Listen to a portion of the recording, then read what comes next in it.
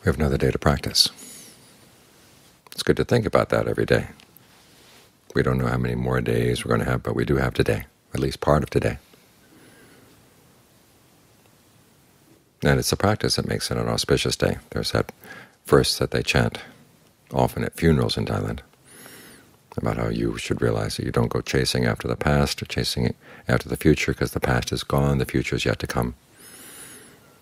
So instead you stay right on top of whatever is happening in the present moment, because tomorrow death might come. That's the Buddha's context always for his emphasis on being in the present moment, because you don't just be in the present moment, there's work to do in the present moment. And it's the work you do that makes this an auspicious day. It doesn't depend on the stars, it doesn't depend on anything else, it depends on your actions, your determination in training the mind. So whether today is going to be auspicious or not depends on your practice. Generosity, virtue, meditation, all these things make this an auspicious day. And value the day that you have, because it's only in the present moment you, where you can do the work on the mind. The past is done and gone, the future hasn't come yet.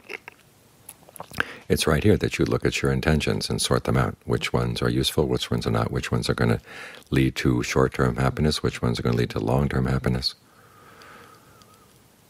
Then you have to make your decisions, which one are you going to follow. Because that will shape your opportunities in the future, for the next days you have. The more skillful choices you make now, the more opportunities there will be to make the future days even more auspicious too. So everything comes back to your actions. Make sure that your actions are well considered as you do them.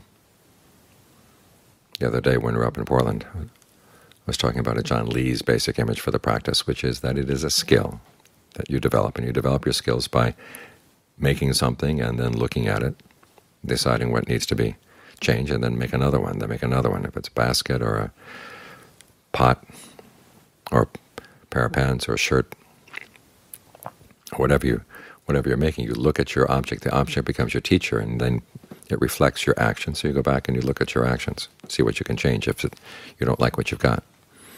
This woman asked, how would you apply that to your daily life? And I said, well, it's the same thing. It's not just with meditation. It's everything you do in the course of the day.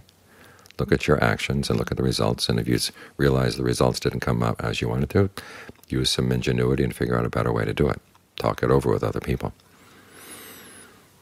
The complaint was, well, it sounds like an awful lot of thinking. And the reply, of course, is, well, what else are you going to think about? This is where you're responsible. This is what shapes your life. So you want to take an active role in shaping it well.